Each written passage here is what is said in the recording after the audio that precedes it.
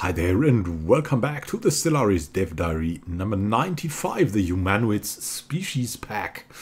Ah, so that's Christmas candy for you.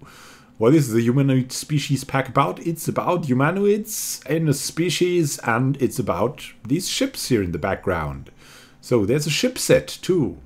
So it's not Cherry H, it's humanoids. It's coming for 7.99 credits European or uh, American on the 7th of December. Your regional equivalent. So I don't know. I mean, um, if you have uh, a very low cost um, currency, might be good. Please inform me. so, um, it looks nice to me. What's in there? What's in the pack? So, um, 10 new humanoid portraits, among them also dwarves, and you can see like orcish people, uh, demons, and kind of, I don't know what they are. What are they? Tell me. And there's uh, imperial ships, as much as it looks here. So, a completely new ship set inspired by classic western sci-fi. A new city set for humanoids that is really cool because I always wanted a new city set for humanoids.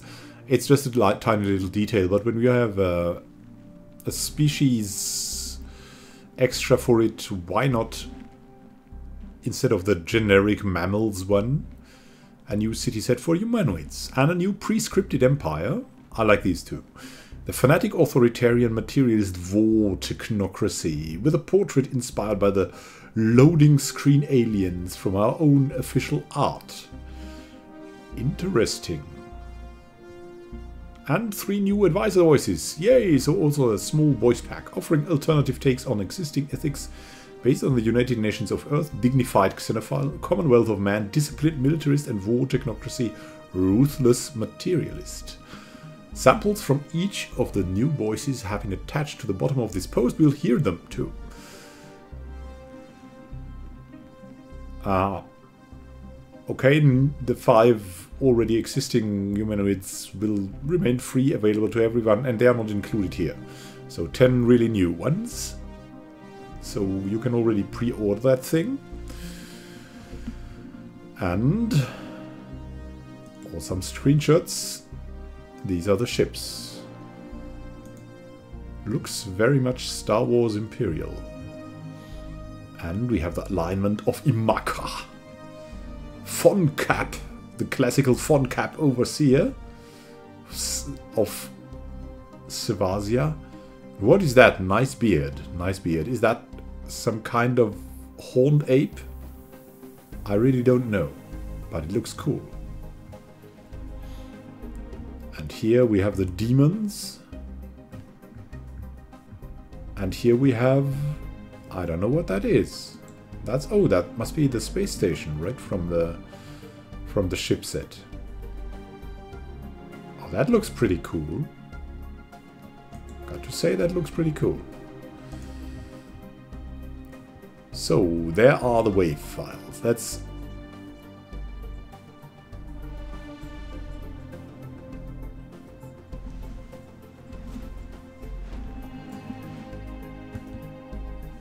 right. Uh, uh, this one.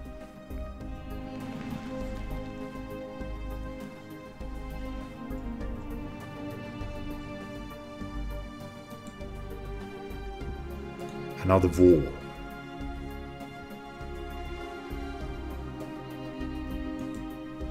Now I got to say, I like the war. Which one of them like you? I like the war. the war will be the, the new voice for a playthrough. so, thank you for watching. It was it was fun having you here. Um, I'll add this to the dev diaries for Cherry H, the, the overview post in my blog. It's in between there, but yeah. Just for the sake of completion that you have every uh, dev diary there. It's also linked in the description below. And that said, uh, happy Thanksgiving to you if you're from the US, where it's celebrated right now.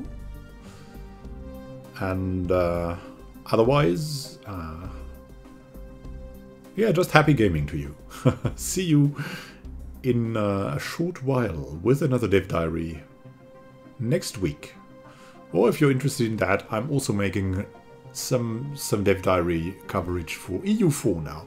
I'm interested in that too, so I'm uh, I'm going to start with that. And 1.24 uh, Dev Diary reporting has already started, so it will be interesting to catch up a bit and to see what it's about. I understand it's about Ryukyu.